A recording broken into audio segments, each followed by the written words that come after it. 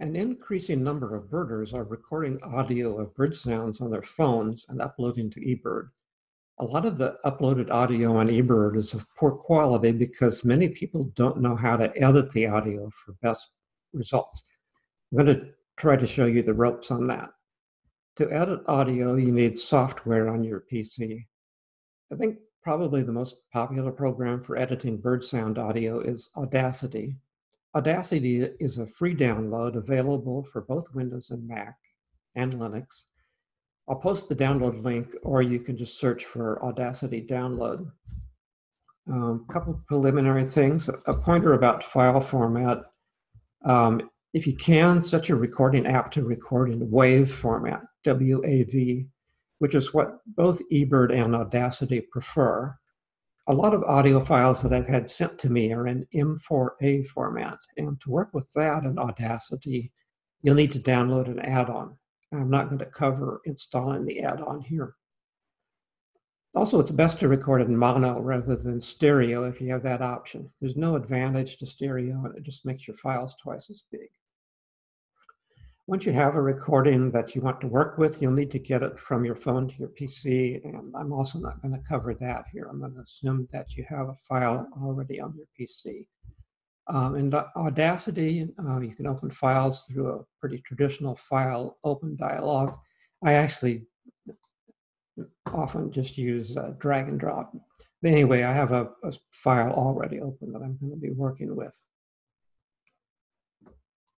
There are two things that eBird uh, really wants you to do with every recording, and a third thing that they say that you can do optionally. So I'm going to cover those three things first. Uh, the first thing is that you should trim any um, excess recording from the beginning or end of your clip. Often when you make a recording in the field, uh, the bird doesn't start singing right away, so you have uh, just blank dead air at the beginning of the recording, simple background sound. And, and likewise, the bird may stop singing before you stop recording, so you have dead air at the end of your recording. So all of that empty non-bird background sound at the beginning or end, you should trim off so that what you upload is just the bird sound. They recommend that you have a three second lead in. In other words, the bird sound should begin at three seconds into the clip and uh, likewise a three second trailer at the end. The, the clip should end three seconds after the last bird sound. Now, often, as in this example that I'm going to be working with, the bird sings so much that you don't really have those three second gaps to work with. But anyway, never have more than three seconds of uh, background at the beginning or end of recording. So I'm going to demonstrate trimming, uh, but not for that exact reason. Uh, first, I'll play through this uh, recording.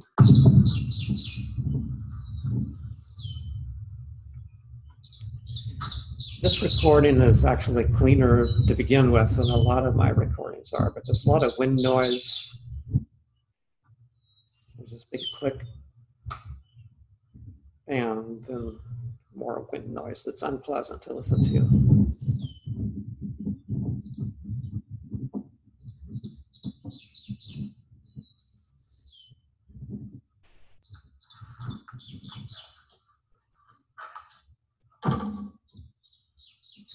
Then I moved behind the shelter of my car out of the wind, and the rest of the recording is pretty clean.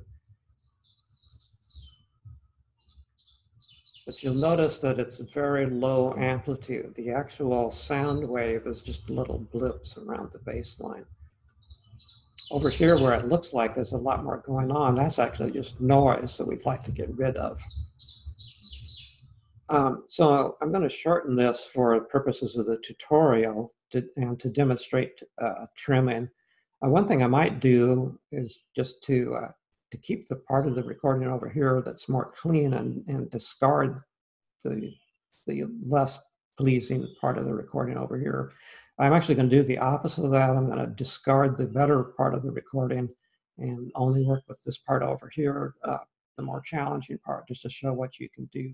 So I'm going to split the recording right there. And uh, to make a deletion, you first have to select the part that you're going to delete. And you can do that either by dragging the mouse across it, or what I usually do is uh, place the uh, cut point and then use the keyboard sh shortcut Shift K, which automatically selects from that point to the end. And then to delete, you just press the delete key. Similarly, you could do a deletion at the beginning by uh, positioning the cursor and hitting, pressing Shift J to select back to the beginning.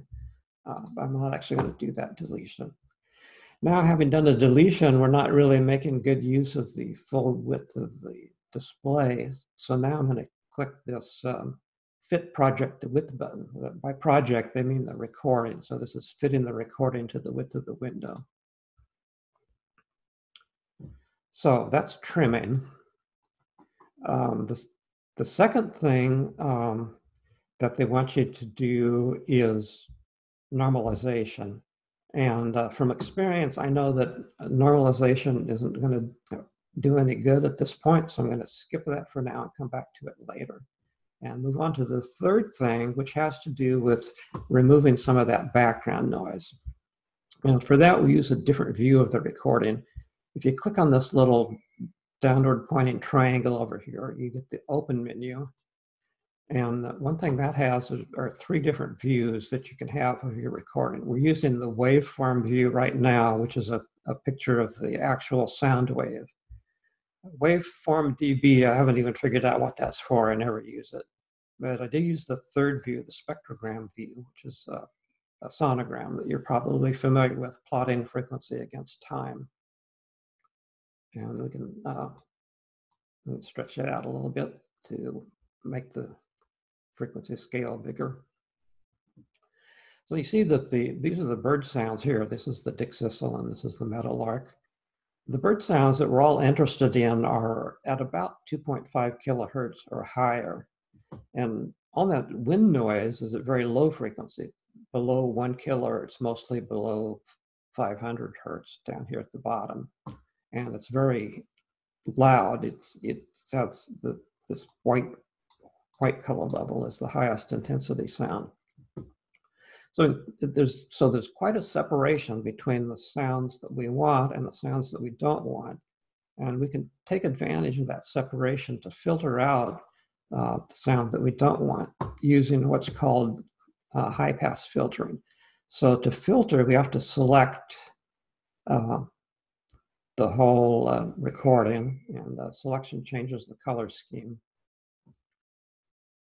And uh, then we go to the effect menu. There are lots of effects. The effect that we want is high pass filter.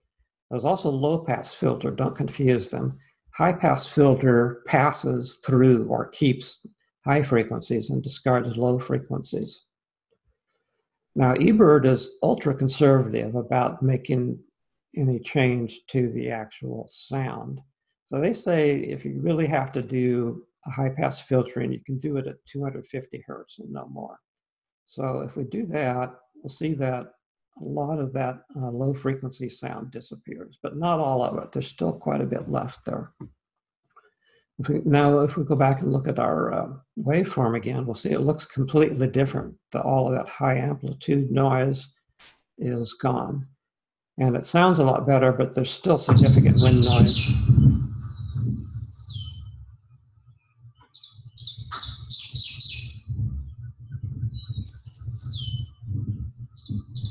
Now, this is one place where I depart from eBird philosophy. I, I uh, think they're much too conservative about um, um, filtering.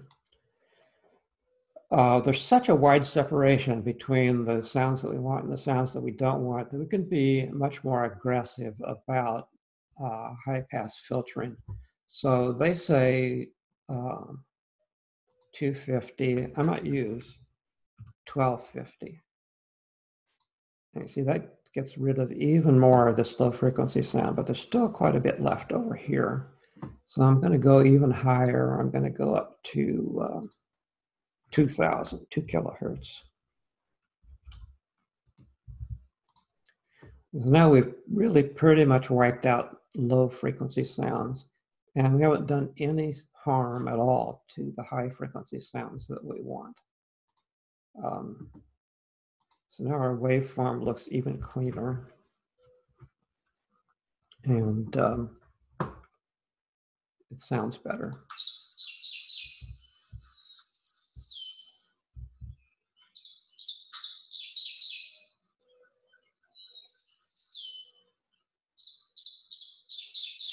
So now we can uh, go back and address normalization. I said that uh, normalization works with the loudest sound, and, and now it's even more clear that this click is the loudest sound. So we need to get that click out of there before we can really do anything more.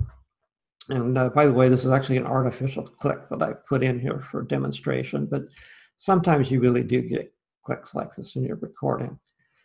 To eliminate this click,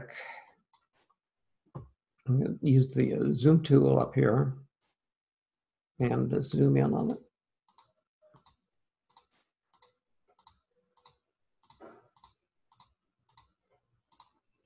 And then I'll switch to the selection tool to select it.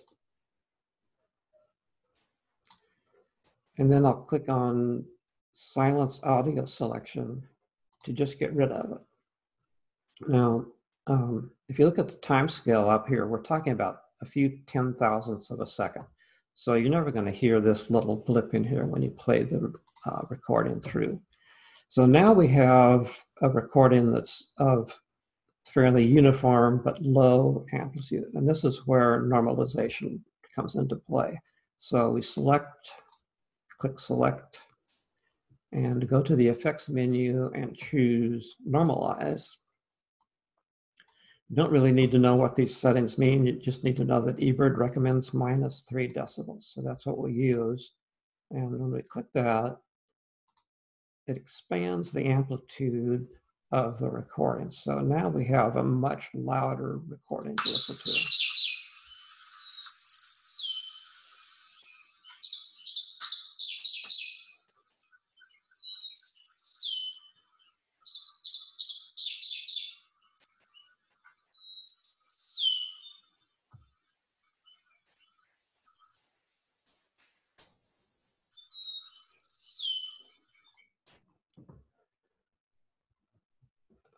Now, there's one more thing that I sometimes do, not always, uh, probably wouldn't do it on this recording, but I'm going to demonstrate it anyway. And that is uh, noise reduction. Now, noise reduction has even more potential to mess up your uh, recording, so use it very judiciously and with great care when you do use it. Uh, um, for noise, to do noise reduction, we first identify a little snippet of the recording that we're going to call noise. Make sure that this is, and I'll, I'll play it back to confirm that this is just background noise here. We want to be sure that there's no bird sound in that selection.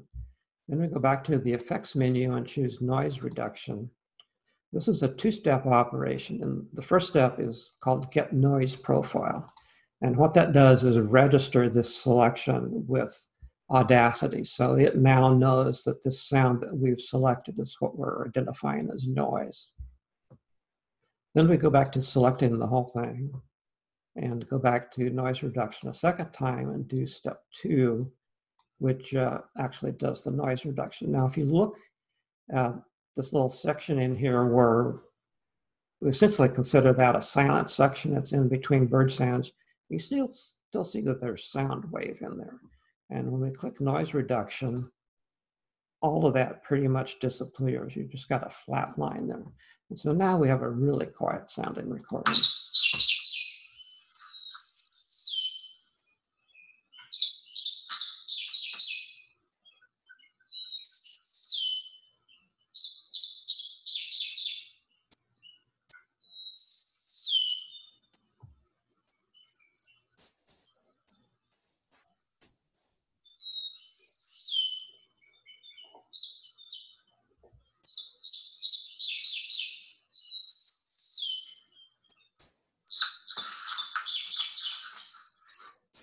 And if you didn't hear it in any of the earlier samples, maybe you uh, heard the grasshopper sparrow a few times in the background there if it made it through YouTube and all.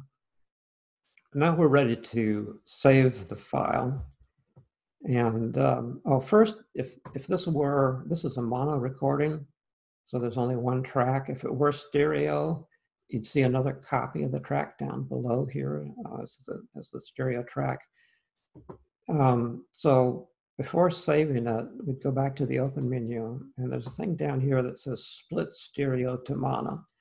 Uh, that's a really odd way of saying it, but what that means is if you click that, if you have stereo and you click that, then when you save the file, it will merge the two tracks into one mono track. Um, then you save it under the file menu, and they don't actually call it saving, they call it export. So you can export the sound, and you can export it to a few different formats. We want to export as WAV for eBird. And then that's uh, a pretty standard uh, saving kind of dialog that comes up. You can uh, modify the, the, the, file name to your preference if you like. Um,